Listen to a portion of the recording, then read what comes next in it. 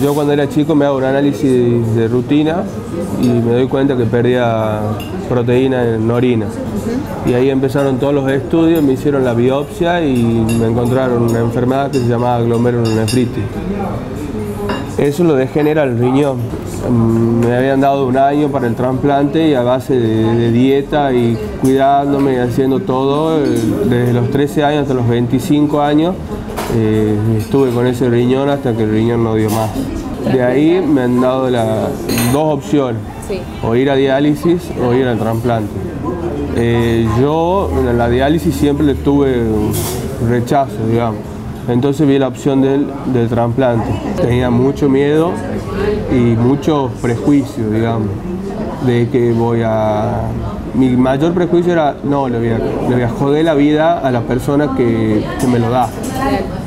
Y después de esta charla que me han dado informativa, charla informativa justamente le dicen y bueno, sabes, son cuatro horas y media eternas y te das cuenta de que la persona, la estudian bien a la persona que te va a donar para que no, no le pase nada. Y hoy en día mi papá fue el que me lo donó y hoy en día está, está muy bien.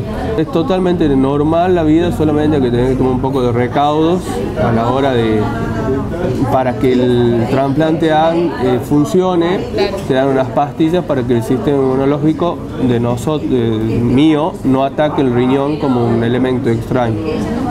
En calidad de vida es un, 100% de, cambio a, comparación de diálisis.